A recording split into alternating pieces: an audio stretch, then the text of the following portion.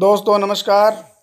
स्वागत है आपके अपने YouTube चैनल पे। दोस्तों अभी अभी की जो बड़ी न्यूज़ आ रही है, वह द्वितीय श्रेणी शिक्षक भर्ती 2016 में नियुक्ति पर रोक को संबंधित है।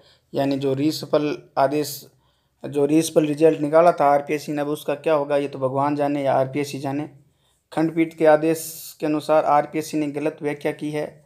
खंडपीठ जो खंडपीठ ने जो आदेश जारी किया था आरपीएससी ने उसकी गलत व्याख्या की। जस्टिस आलोक आलोक शर्मा की खंडपीठ ने माना, पाँच परसेंट गलत। खंडपीठ ने दिए थे दोबारा परिणाम जारी कर नियुक्ति के आदेश। आरपीएससी ने सिर्फ़ याचिका का कर्ताओं को दिया था, आदेश का लाभ। दोस्तों, देखते हैं अब जो याचिकाकर्ताओं ने याचिका लगाई है, उस पर आर पी आरपीएससी हाईकोर्ट में क्या जवाब पेश करती है। अब सारा मामला आर आरपीएससी पे निर्भर है, क्योंकि आरपीएससी ने सारे परिणाम भी दोबारा जारी किए थे, और उसके बाद सब लोगों की जो मेरिट लिस्ट थी, उसमें भी संशोधन हुए थे। उसके बाद रीसपल रिज़ल्ट जारी हुआ था।